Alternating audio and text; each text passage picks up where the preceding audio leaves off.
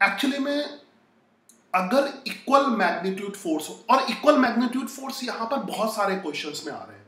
तो जितने पुराने क्वेश्चन में इक्वल मैग्नीट्यूड का फोर्स है, ठीक है, उसके लिए तुम शॉर्टकट बना लो। शॉर्टकट बना लो, और बेसिक से कर चुके हो तो शॉर्टकट बनाने में आसानी भी होगी। तो मैं जरा, और किसी भी डायरेक्शन में इक्वल मैग्नीट्यूड का फोर्स हो तो मैं किसी भी डायरेक्शन में इक्वल मैग्नीट्यूड का फोर्स देता हूँ। मैं रैंडम डायरेक्शन में लेता हूँ, जैसे ये एक इक्वल एक एफ़ मैग्नीट्यूड का फोर्स है है ना? और दूसरा फोर्स है, ये किधर भी हो सकता है? मैं थोड़ा सा और कर दूँ कि किधर भी लेने के लिए मतलब किधर भी मतलब किधर भी हॉरिजेंटल होना भी ज़रूरी नहीं है।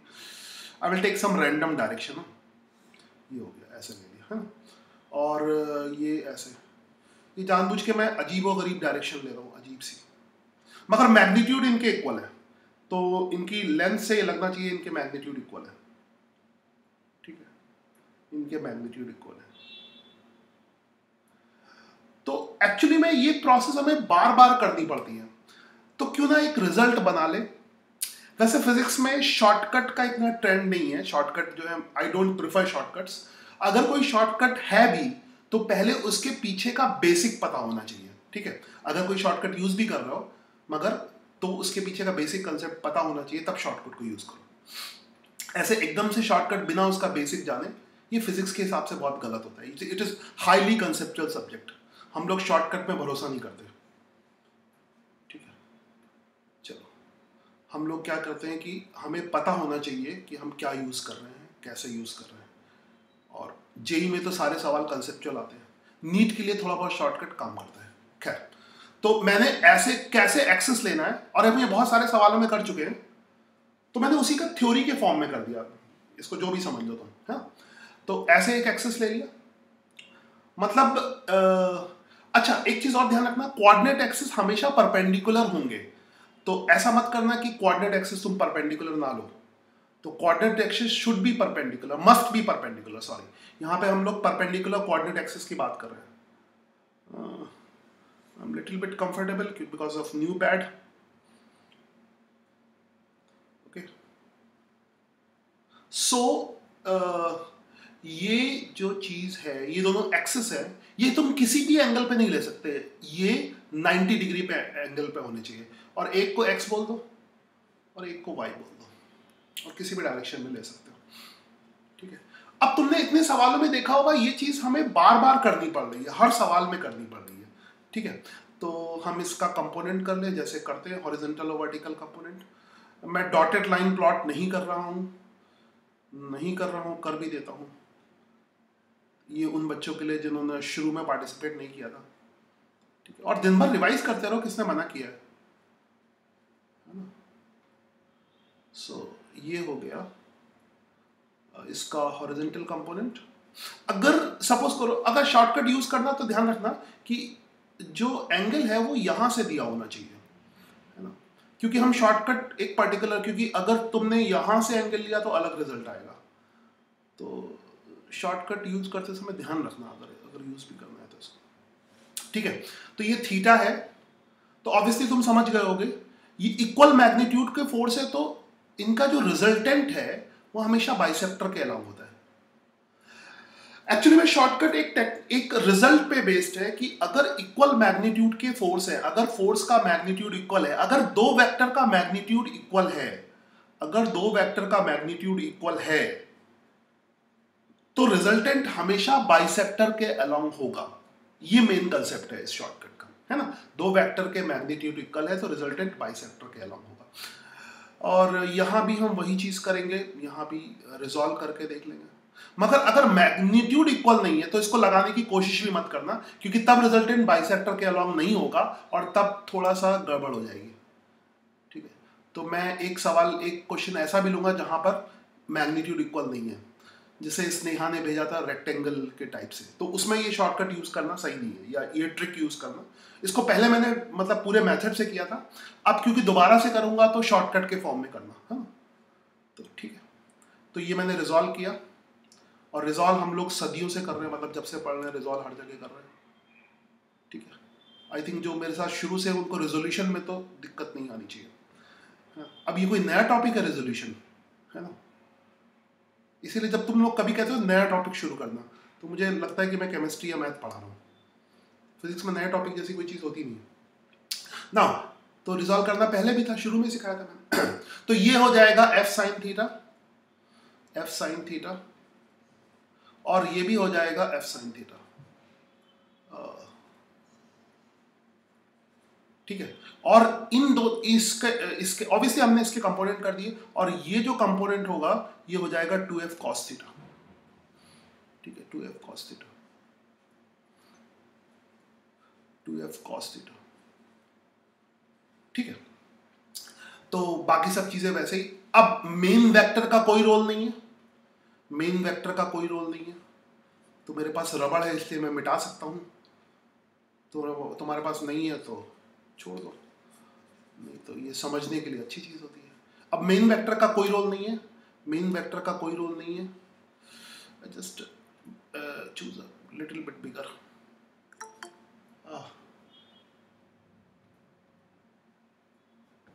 चलो आज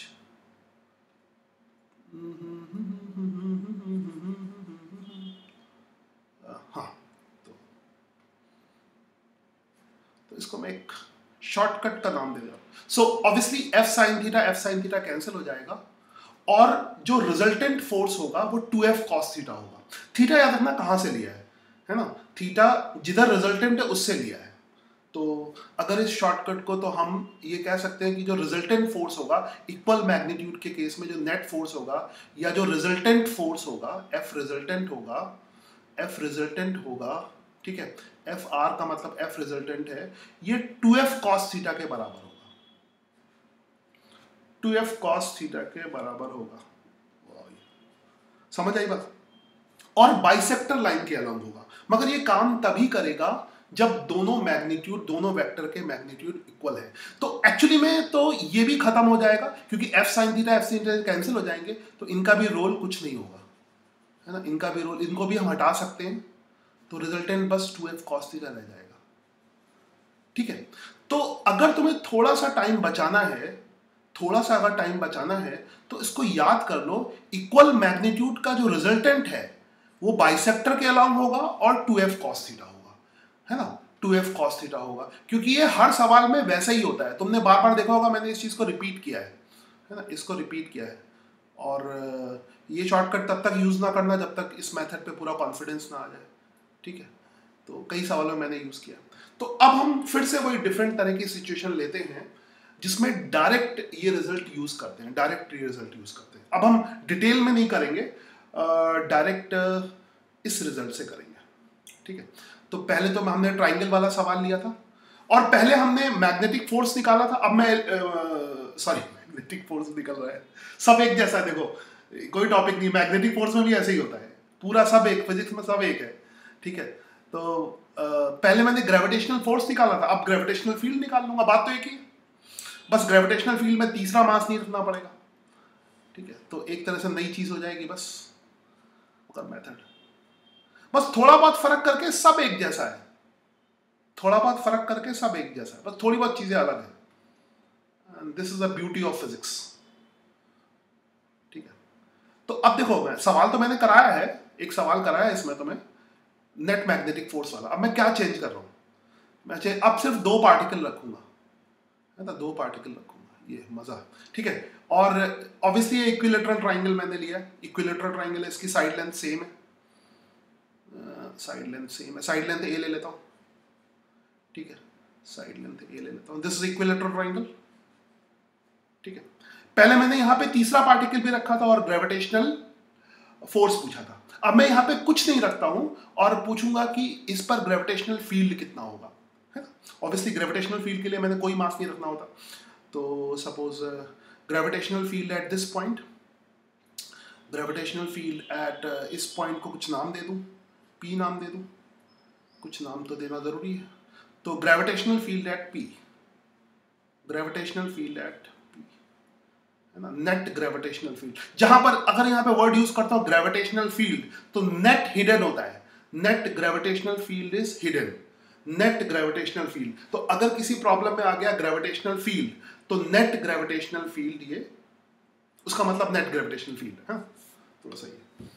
ठीक है? तो जहाँ भी ग्रेविटेशनल फ़ील्ड क्वेश्चन में दिया फाइंड ग्रेविटेशनल फ़ील्ड तो ये मत पूछना किसका ग्रेविटेशनल फ़ील्ड वो नेट ग्रेविटेशनल तो अक्सर नेट वर्ड यूज़ नहीं करते।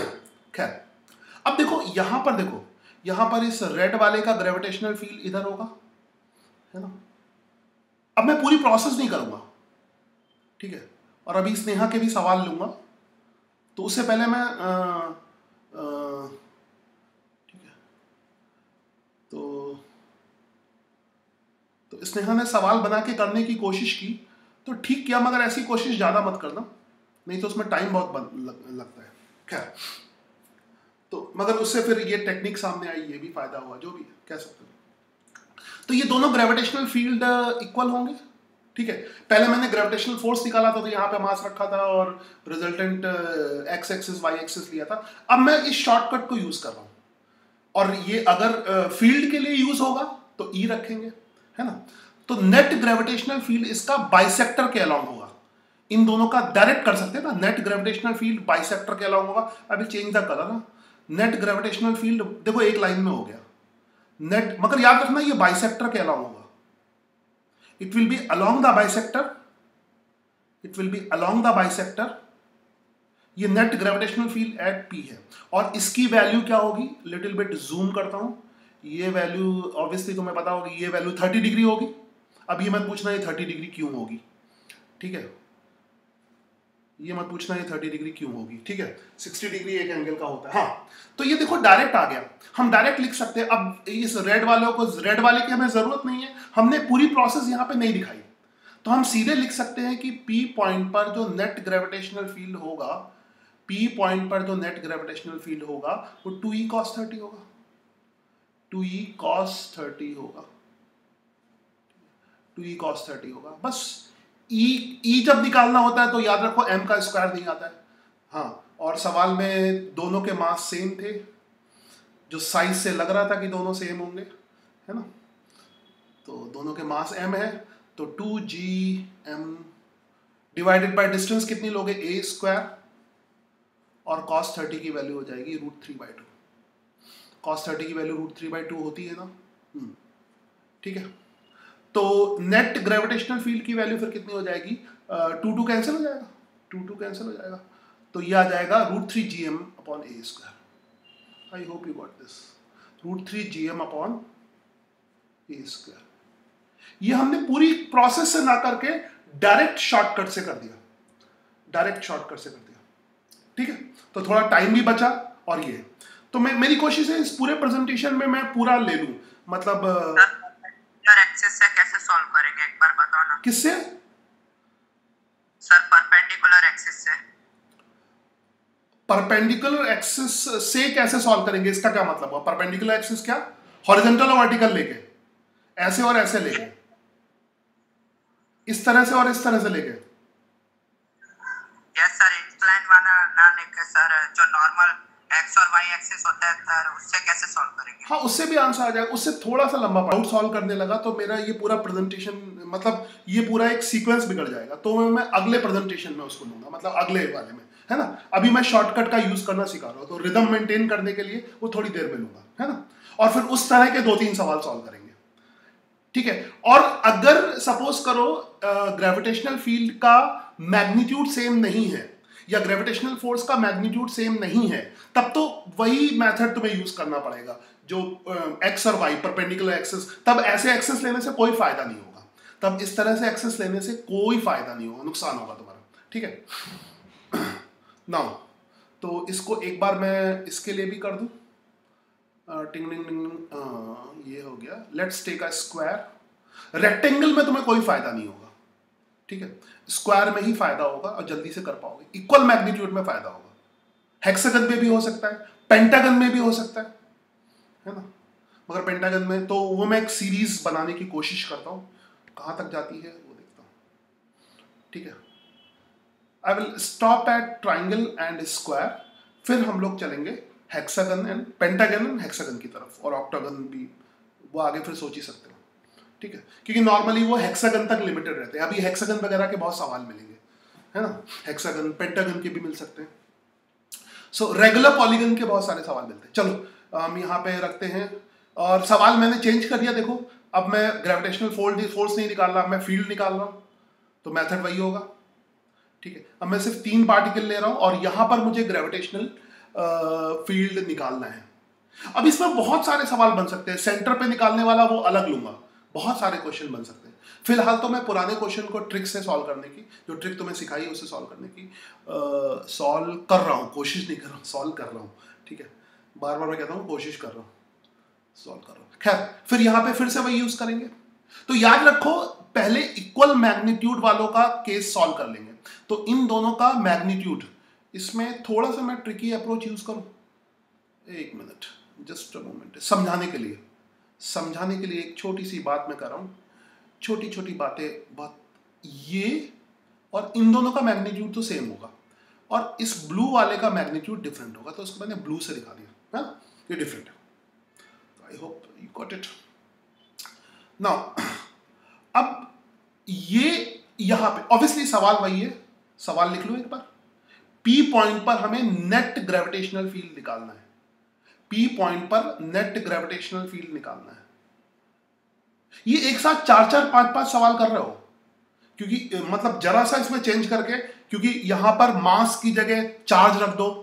चार्ज भी प्लस माइनस अलग अलग टाइप के लिख सकते हैं। तो एक साथ ये पाँच, छह सवालों के कंसेप्ट है। तो इस तरह से इसको बहुत सिंसियरिटी के साथ, बहुत सीरियसली इसको ध्यान से सुनना। और इसीलिए मैं इसमें सारी चीज़ें बताऊँगा। तो पी पॉइंट पर हमें नेट ग्रेविटेशनल फ़ील्ड निकालना है। क्वेश्चन अब भी वही है कि पी पॉइंट पर हमें नेट ग्रेविटेशनल फ़ील्ड निकालना है। पी पॉइंट पर हमें नेट ग्रेविटेशनल फ़ील्ड निकालना है। ठीक है? पहले हमने ग्रेविटेशनल फोर्स निकाला था तो पहले से थोड़ा सा डिफरेंट हो गया। ठीक है? तो ऑब्वियसली इक्वल जो होंगे इक्वल मैग्नीट्यूड के, एक तो ये ई e होगा और ये वाला ई e होगा। ठीक है? ये ई e होगा और ये ई होगा। ये इक्वल मैग्नीट्यूड के हैं। तो इन दोनों का जो रिजल्टेंट है, वो बाइसेक्टर के अलाउंग होगा। याद रखो, इसमें साइड लेंथ सेम है। ये स्क्वायर मैंने बताया है। साइड लेंथ सेम है। अगर ये रेक्टेंगल है तो फिर ये काम नहीं करेगा, क्योंकि तब मैग्नीट्यूड डिफरेंट हो जाएँगे। तब इसका मैग्नीट्यूड और इसका मैग्नीट्यूड हाँ? अगर रेक्टेंगल हाँ फिर से बोलो। यस सर, वो ब्लू वाले का मास मास सबका सेम है। मास सबका सेम है। ब्लू वाले का मैंने ब्लू इसलिए बनाया कि तुम्हें ये फीलिंग आ जाए कि इन दोनों का लाल वाले का रेड वाले का तो ग्रेविटेशनल फ़ील्ड सेम होगा। ब्लू वाले का डिफरेंट होगा। ठीक है? सो so, तो अगर यहाँ पे रेक्टेंगल है मतलब साइड लेंथ अलग अलग है तब ये टेक्निक और ट्रिक काम नहीं करेगी। तो तब फिर तुम बेसिक मेथड से आई जे कैप जैसे करते हैं जैसे तुमने टेस्ट के सवाल किए वैसे ही करना है। तो वो कोई मुश्किल नहीं, वो जनरल टेक्निक वो जनरल मेथड है ट्रिकी मेथड नहीं खैर, इन दोनों का पहले रेड वालों का काम कर ले। रेड वालों का जो रिजल्टेंट है, वो बाइसेक्टर के अलॉन्ग आएगा। इक्वल मैग्नीट्यूड के वेक्टर्स का रिजल्टेंट बाइसेक्टर के अलॉन्ग आता है। ठीक है? और कितना होता है? टू ई कॉस थीटा कोई भी बच्चा ये नहीं पूछेगा कि ये 45 डिग्री कैसे होगा। ठीक है? अगर ये तुम्हारे दिमाग में, ये 45 डिग्री कैसे होगा, ये तुम्हें कम से कम इतना तो पता होना चाहिए। तो इन दोनों का जो रिजल्टेंट है है ना, वही। अब मैं पूरी प्रोसेस नहीं कर रहा हूँ इसके हॉरिजेंटल वर्टिकल करके दिखाने। इनका जो रिजल्टेंट है वो बाइसेक्टर के अलावा होगा, है ना? और वो कितना होगा? Two E two E little bit thicker two E cos forty five वैसे यहाँ पे गलती से साइन भी लिख दोगे, तब भी वही बात आएगी। ठीक है? तो ये ये क्या हो गया? रेड वाला क्या हो गया? रेड वाला रेड वाला, इधर लिखता हूँ रेड वाला। टू ई छोटा बड़ा करके कहीं भी एडजस्ट कर लेता हूँ। This is 2e and sine 45 sine 45 2e sine 45 ठीक है? अभी ब्लू वाला बचा हुआ है। ब्लू वाला बचा हुआ अभी। दो, इन दोनों को रेड वाले को खत्म किया। ब्लू वाले का अभी और ग्रेविटेशनल फ़ील्ड होगा। ब्लू वाले का भी ग्रेविटेशनल फ़ील्ड होगा। तो ब्लू वाले का फिर अलग से लिखोगे। ऑब्वियसली ब्लू वाले का इसी लाइन पे होगा। इसी लाइन के अलाउंग होगा। अब अब तुम ये भी समझ रहे हो कि इक्वल में क्यों काम करता है? कि अगर अनइक्वल है तो रिजल्टेंट फिर इस लाइन के इन दोनों का, अगर ये दोनों सपोज़ करो अनइक्वल है, अगर ये ये सपोज़ करो ये टू ई e है ई e है, तब रिजल्टेंट बाइसेक्टर के अलॉन्ग नहीं आएगा। तब ब्लू वाला तो इधर ही रहेगा, मगर रिजल्टेंट किसी और डायरेक्शन में आएगा। मतलब रेड वालों का रिजल्टेंट किसी और डायरेक्शन में होगा। तब फिर उसके बीच भी एंगल लेना पड़ेगा तो लिटिल बिट डिफ़िकल्ट हो जाएगा। तब फिर वो आई जे कैप जे कैप में करना ही बेटर रहेगा। तो ब्लू वाला और रह गया, ठीक है? अब हम इसमें रिजल्टेंट ई पॉइंट पे नेट मैग्नेटिक फ़ील्ड लिख लें तो उतनी मेहनत नहीं करनी पड़ रही है। और क्योंकि इसके बहुत सारे सवाल आएँगे तो ढंग से समझ लो। ये दोनों के लिए इंपॉर्टेंट है। तो ये आ जाएगा two E sine forty five two E sine forty five two E sine forty five. ठीक है? Two E sine forty five plus plus blue वाले का। ब्लू वाले का। है ना? ब्लू वाले का मैं अब डायरेक्ट लिख देता हूँ। Two E sine forty five and blue वाले का। Two E sine forty five. अब क्योंकि I am comfortable with this या इतना भी कंफर्टेबल नहीं रेड वाले का। ये रेड लिख देता हूँ ये रेड वाले का और ये ब्लू वाले का। ठीक है? इतना काफ़ी है। चलो, अब ई आर और ई बी की वैल्यू लिख लें रेड की वैल्यू लिख लें। ई आर की वैल्यू कितनी? आई होप मैं अब जल्दी करता हूँ डायरेक्टली इसी में लिख देता हूँ। टू क्योंकि एक बार हम कर ही चुके हैं। रेड वाले का ग्रेविटेशनल फ़ील्ड कितना हो जाएगा? GM upon A square GM upon A square और साइन फोर्टी फाइव की वैल्यू कितनी आ जाएगी? वन अपॉन रूट टू ठीक है? और ब्लू वाले का कितना होगा? GM upon root two A का whole square GM upon root two A का होल स्क्वायर रेस्ट कैलकुलेशन कर सकते हो तुम? I am not doing it completely common woman लेके सॉल्व नहीं कर रहा क्योंकि एक बार हम कर चुके हैं। I am not doing calculation तो जैसा भी ऑप्शन में हो, है ना? जो भी ऑप्शन में हो, उसके हिसाब से रीअरेंज कर लो। जस्ट जो मर्ज़ी आंसर लिख लो। ठीक है? कमेंट बॉक्स में आंसर लिख देना जब अपलोड चलो फ़िलहाल तो मैं इसको लंबा जा रहा है तो इसको मैं थोड़ा सा यहीं पे स्टॉप करता हूँ, फिर नेक्स्ट